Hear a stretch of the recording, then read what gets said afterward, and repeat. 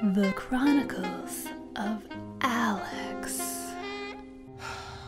So the other day, I sat down on the bus, and the person sitting next to me sat down afterwards, and I didn't look at her because it was early morning, and everyone's looking a little rough in the morning. And she pulls out her phone like everyone pulls out their phones, but instead of playing with Facebook or matching colored tiles on Candy Crush, she a number. Someone on the other line answered, and she said, Hi, I have a question.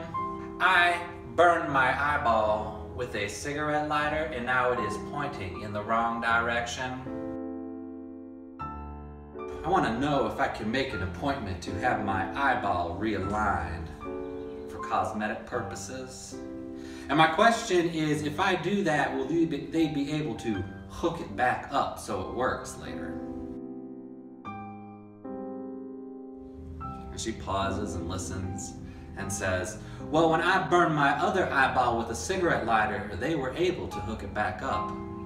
But it didn't ever point in the wrong direction on its own. And I just want to make sure that if I get it realigned for cosmetic purposes, it won't mess up the ability to reconnect. At this point, I'm trying very hard not to look at the eyeball, which may or may not be looking back at me. And she said, Well, then, can you put me through to somebody who can twist it around and point it in the right direction for cosmetic purposes?